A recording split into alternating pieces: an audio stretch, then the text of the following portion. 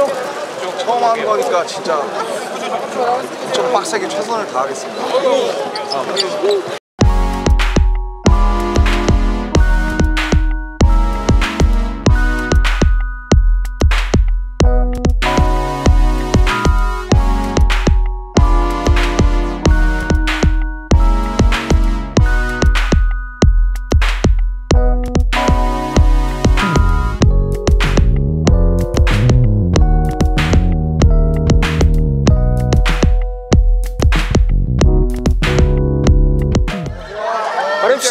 인사 한 번만 감사합니다. 사우디 가는 소감 어떠세요? 지금 처음 가봐서 아 니, 니께 감사합니다. 저희 잠시만요. 처음 니께 처음 자, 시작할게요. 기다려주셔서